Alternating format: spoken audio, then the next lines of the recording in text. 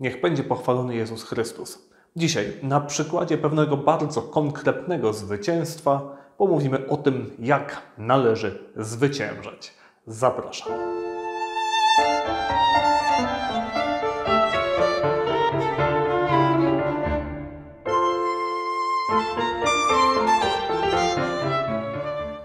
Siódmy października to kluczowy dzień dla zrozumienia całego października. O co chodzi? Cały październik jest miesiącem różańcowym. 7 października obchodzimy natomiast święto Matki Bożej Różańcowej. Jest ono więc epicentrum tego miesiąca. Dlaczego to święto zostało ustanowione? Tutaj tylko bardzo krótki rys historyczny. Otóż zostało ustanowione po to, aby upamiętnić wielkie zwycięstwo w bitwie pod Lepanto. W wielkiej bitwie świętej Ligi przeciwko Imperium Osmańskiego. W dwóch słowach tylko zarysuję, e, co wspominamy, bowiem należy o tych wielkich zwycięstwach pamiętać. Mamy rok 1571 trochę ponad 100 lat od zdobycia Konstantynopola przez muzułmanów. W tym czasie Imperium Osmańskie wydaje się być niepokonane. Dochodzi do coraz większej liczby konfliktów, przede wszystkim z Republiką Wenecką, która jest potęgą morską w tym czasie. Po ataku na Cypr i nieustannych próbach ekspansji Imperium Osmańskiego, święty papież Pius V wzywa, zwołuje Ligę Świętą, zwołuje chrześcijan do walki z muzułmańskim najeźdźcą. Jednocześnie zwołuje on krucjatę różańcową.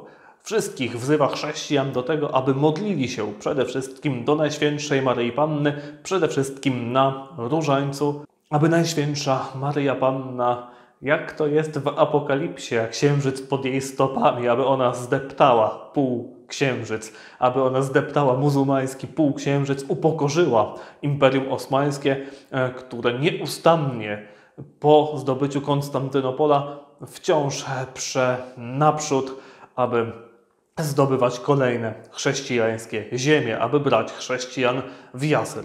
W tym czasie Imperium Osmańskie wydaje się być niepokonane, jak do tej pory od praktycznie tych 100 lat po upadku Konstantynopola, który przecież był drugim centrum ówczesnego świata, po upadku Konstantynopola praktycznie nie udało się na poważnie powstrzymać tej ekspansji Imperium Osmańskiego i w mentalności mm, Europy wydaje się, że jest to wróg nie do pokonania. Dlatego też święty Pius V organizuje tą Ligę Świętą i dlatego też wzywa wszystkich chrześcijan do modlitwy.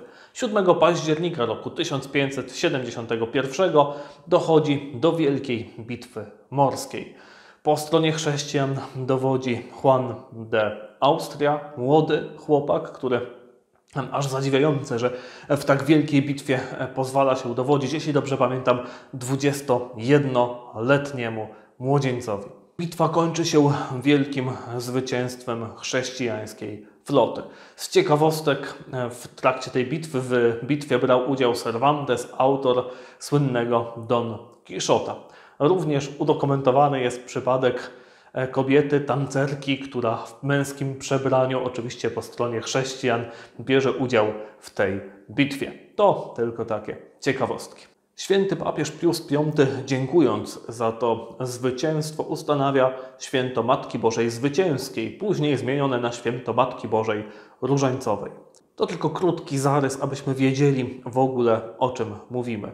Przykład tego zwycięstwa, tego wielkiego triumfu, który praktycznie na 100 lat, przynajmniej mentalnie, postawił e, chrześcijański świat na nogi, to znaczy znowu pozwolił uwierzyć, że Imperium Osmańskie można pokonać. Była to bardzo dotkliwa klęska dla Imperium Osmańskiego, choć oczywiście, jak to przeważnie bywa politycznie niewykorzystana. Warto o zwycięstwach pamiętać i się uczyć, jak to się stało, że wtedy, jako chrześcijański, katolicki świat, zwyciężyliśmy. I o tym zasadniczo chciałbym dzisiaj mówić. Zwracam na to uwagę, co robi święty papież Pius V w obliczu realnego zagrożenia. Przede wszystkim nie udaje, że nic złego się nie dzieje. Nie twierdzi, że to tylko tak, tutaj małe takie konflikty lokalne, widzi ekspansję Imperium Osmańskiego, widzi w tym zagrożenie dla całej naszej cywilizacji, a więc pierwsza rzecz, trzeba zagrożenie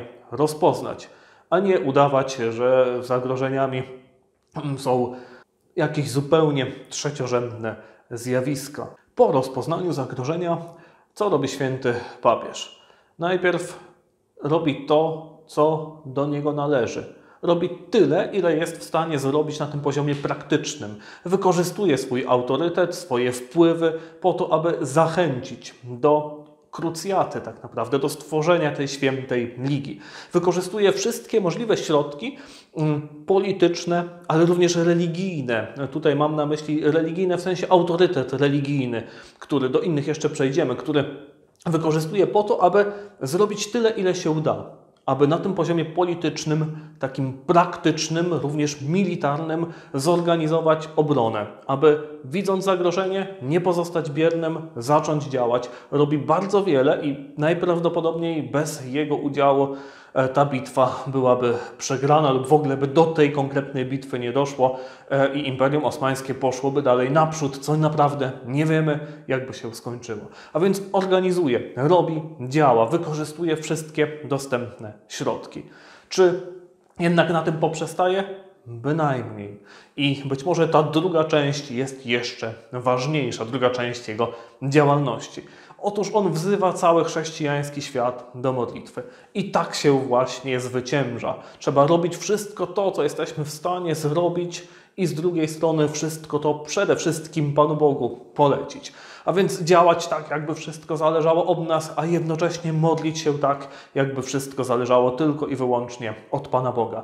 Nie jest to sprzeczność, jest to dokładnie adekwatne, bo ostatecznie wszystko zależy od Pana Boga, ale On uzależnia przebieg historii od tego, jak my zadziałamy. Bowiem my jesteśmy tutaj ustanowieni jako namiestnicy, namiestnicy stworzenia ludzkości, jako jako istoty rozumne, cielesno-rozumne, jesteśmy pozostawieni tutaj, abyśmy dbali o ten świat materialny, abyśmy się nim zajmowali. I ta historia nasza jest w naszych rękach w tym sensie. A więc tak, wszystko zależy od Pana Boga, ale On będzie wspierał tylko wtedy, kiedy my faktycznie robimy wszystko to, co zrobić mogliśmy. A więc nie może to, że wszystko jest w Bożych rękach, nie może w żaden sposób posłużyć jako wymówka do jakiegoś lenistwa, do niedziałania albo do głupoty, która nie rozpoznaje realnych problemów. Tak działa święty Pius V. Rozpoznaje problem, robi wszystko, co może i jednocześnie cały chrześcijański świat wzywa do modlitwy. I tutaj ta szczególna rola różańca, procesje pokutne różaniec, który e, cały chrześcijański świat odmawia, po to, aby odeprzeć to wielkie i straszne zagrożenie. I udaje się osiągnąć to wielkie zwycięstwo, wielki triumf, który powinniśmy dzisiaj świętować, który w całym tym miesiącu powinniśmy mieć w pamięci, świętować i nie tylko w miesiącu październiku. Ale nie tylko wspominajmy to zwycięstwo, ale właśnie uczmy się z niego, wyciągajmy wnioski. I my w obliczu wszystkich problemów, i tych naszych małych, codziennych, i tych wielkich, kościelno-cywilizacyjnych, w obliczu kryzysu Kościoła, w obliczu mm, tego wszystkiego, co widzieliśmy w trakcie ostatnich już chyba ponad dwóch lat. Róbmy wszystko to, co możemy, aby zaradzić tym problemom na naszym małym poletku. Nie bierzmy się za rzeczy, które przerastają nasze kompetencje.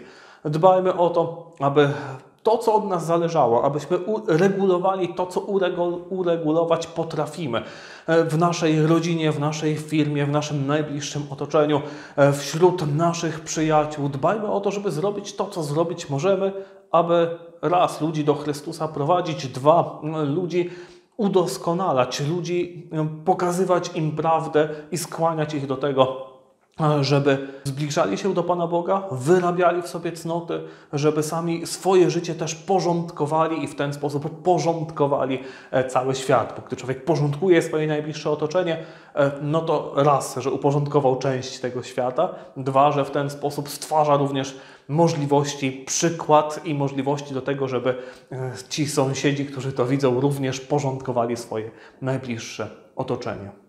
A więc jak najbardziej każdy z nas powinien na swoim małym poletku, tak jak tylko potrafi, walczyć z szeroko pojętą rewolucją. Z rewolucją modernistyczną w kościele, z rewolucją antyautorytarną w rodzinie, z rewolucją antycywilizacyjną w społeczeństwie. Wszędzie starajmy się nie, może nawet nie tyle Pamiętajmy, że kontrrewolucja nie polega na niszczeniu czegoś, tylko polega na budowaniu, na budowaniu porządku, budowaniu wszystkiego w Chrystusie, odnawianiu wszystkiego w Chrystusie. I do tego dążmy, róbmy w praktyce konkretnie to, co jesteśmy zrobić w stanie. A jednocześnie nie przerażajmy się, że jesteśmy w stanie zrobić tak mało, że to jest tylko tutaj nasze najbliższe otoczenie, a i tutaj nierzadko niezbyt wiele zrobić się uda. Nie przerażajmy się tym, bo pamiętajmy jednocześnie, że wszystko ostatecznie od Pana Boga zależy. I to jest tutaj kluczowe. Rozumiejąc, że wszystko od Pana Boga zależy, nie wolno nam ulegać wobec tego strachu. Raz, że przystępujemy do działania, dwa, że gorliwie przystępujemy do modlitwy. Panu Bogu wszystko powierzając, pamiętając o tym, że tak, nasze słabe siły są ograniczone, że tak, ja nie potrafię, ale Ty, Panie Boże, zrób to wszystko, napraw to wszystko. My robimy co możemy, ale to Ty, Panie Boże, to wszystko napraw. I teraz właśnie w tym miesiącu różańcowym tak bardzo zachęcam do tego, żeby na nowo wziąć różaniec święty do ręki. To jest naprawdę potężna modlitwa. Modlitwa, która chociażby właśnie pod Lepanto dowiodła swojej skuteczności. Modlitwa, która może być pięknym wstępem do mistyki, która naprawdę zwykłego człowieka może doprowadzić do początków misty, życia mistycznego, życia w Bogu, takiego naprawdę głębokiego. To nie jest życie zarezerwowane dla jakichś wybranych. Każdy przeciętny zjadacz chleba jest powołany do tego, żeby z Panem Bogiem się zjednoczyć, żeby wejść przynajmniej na te pierwsze poziomy mistyki. I różaniec jest tutaj świetną metodą właśnie do tego. W jaki sposób to robić? Mm, bardzo prosty. Zastosujmy trzy kroki świętego Tomasza z Akwinu, które on odnosi konkretnie do modlitwy brewiarzowej. Ale pamiętajmy, że różaniec jest również psałterzem, psałterzem Najświętszej Maryi Panny. To w odniesieniu do tych 150 psalmów brewiarzowych 150 Zdrowaś Mario. I ta uproszczona forma psałterza jak najbardziej również może być odmawiana, powinna być odmawiana zgodnie z tymi trzema stopniami uwagi świętego Tomasza z Akwinu. Jak święty Tomasz radzi nam różaniec odmawiać? Pierwszy stopień to jest uwaga skupiona na samym dokładnym wymówieniu słów. Jak to? Co to w ogóle za uwaga? Co to w ogóle za skupienie na modlitwie, można by powiedzieć, gdzie tylko skupiamy się na dokładnym wypowiedzeniu słów. Otóż to już jest bardzo wiele. Człowiek jest tak skonstruowany, że e, skupia się bardzo łatwo na czymś, co jest zmysłowe, na czymś, co jest materialne. Trudniej jest mu pozostać w skupieniu na rzeczach niematerialnych, na rzeczach ogólnych, na rzeczach duchowych. Dlatego trzeba właśnie skupić się na rzeczach bardzo konkretnych. Dlatego odmawiając różaniec, skupmy się na tym, zwróćmy uwagę na to, żeby po prostu dokładnie wypowiadać słowa.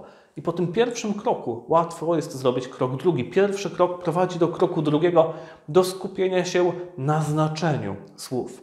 Gdy wypowiadamy je dokładnie, gdy do, tego przywiązujemy pewną wagę, zwracamy na to uwagę, łatwo wtedy zwracamy uwagę na znaczenie tych słów. I słyszymy to wielkie pozdrowienie anielskie.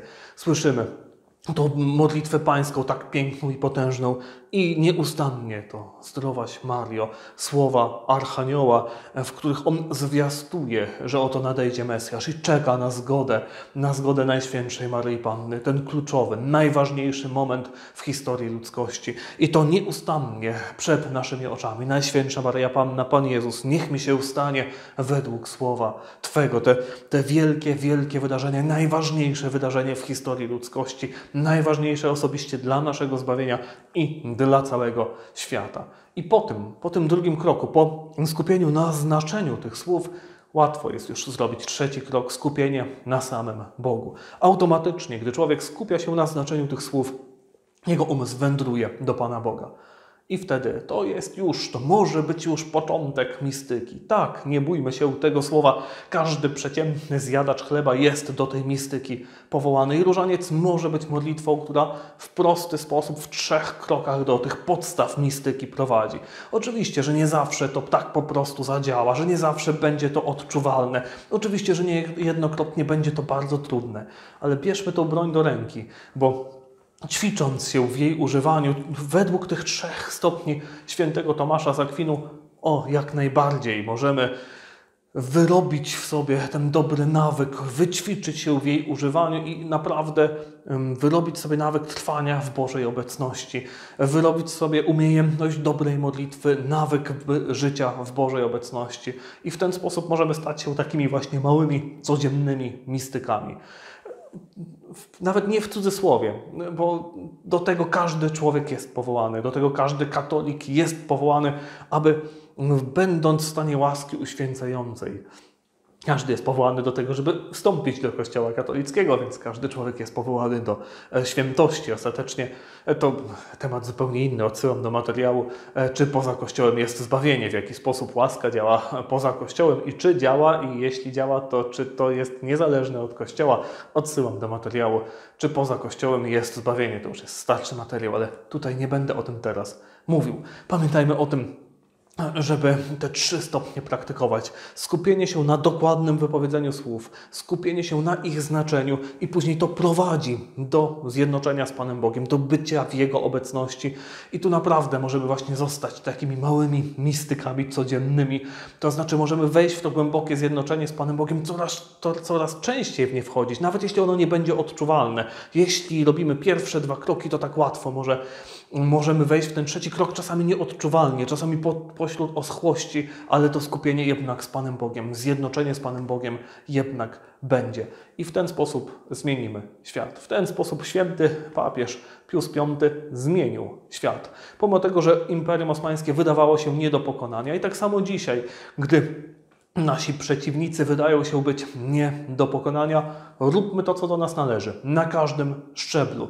Dbajmy o to, aby wychowywać kolejne pokolenia, bo oni ten sztandar poniosą dalej i my musimy mieć komu ten sztandar przekazać.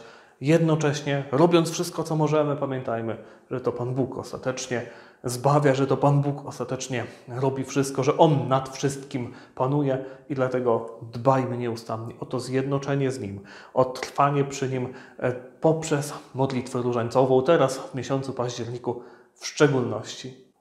Tradycyjnej modlitwie brewiarzowej odmawiamy antyfonę Wszystkie herezje sama się zniszczyła do Najświętszej Maryi Panny.